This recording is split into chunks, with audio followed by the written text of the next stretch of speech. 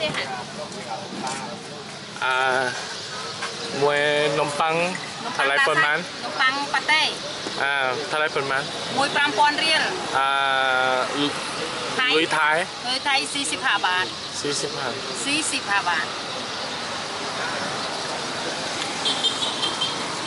กินไหมอร่อยนะ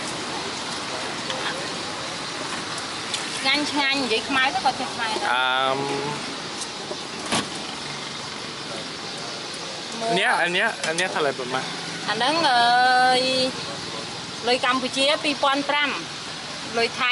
25បើយកមួយអឺយកមួយ45មួយនេះ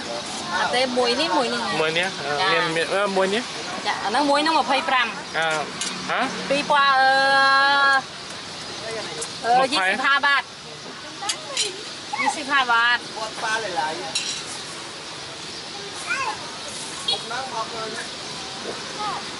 ăn mấy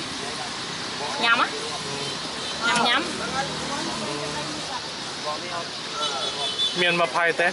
chá mà phai mà phai lụa ớt ban à? lụa ớt ban chá vô mui mà mà vô mui chẹ mui chẹ មក55ចាចាមួយនេះមួយនេះ45មានលុយមានច្រើនលុយអត់មាន นะอัดลอยอะไทยสโบลอยครับก็เรียกว่าคุยภาษาเขมรปนไทยนะครับกับแม่ค้านะครับ ก็พยายามแม่ค้าก็จะพยายามขายขนมปังบากัตเนี่ยครับภาษาเขมรก็เรียกขนมปังเหมือนกับเรานะอ่าแบบท่อนใหญ่เต็มนะครับ ผมก็พยายามซื้อท่อนเล็กนะครับ ก็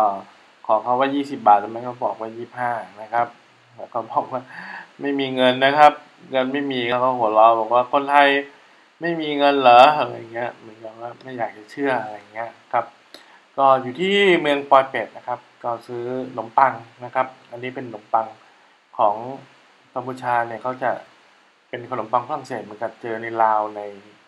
เวียดนามครับ แต่ว่าของเขาเนี่ยจะผิวจะกรอบมาหน่อยนึงนะฮะแล้วก็